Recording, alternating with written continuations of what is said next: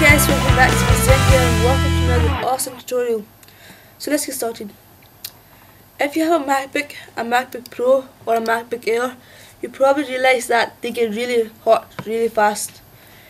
And this application I'm going to show you guys is uh, just cools it down really fast and easily. And that is SMC Fan Control.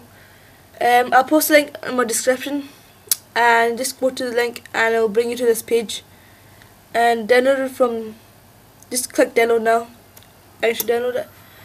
And just install it like you normally would. And you should get this. Um, at top says um, temperature of your laptop.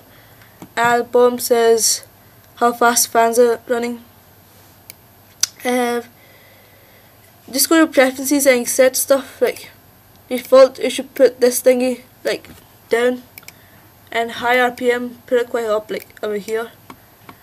And make sure you click auto start SMC after login. So you can set, um, set up other stuff here. I'm not gonna bother.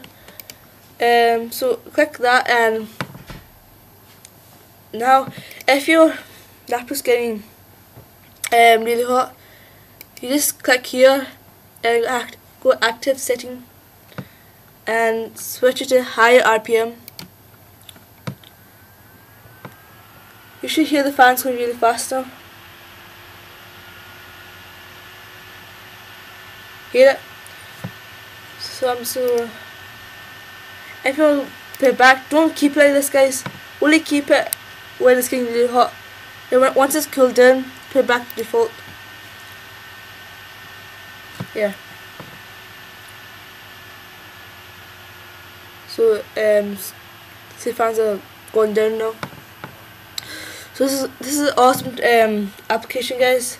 It's really helpful, and yeah. Thanks for watching, and oh yeah, remember to visit my blog, guys. Um, on here I'll show you. I'll tell you like I'll talk about nearly anything, not anything, but um, important stuff.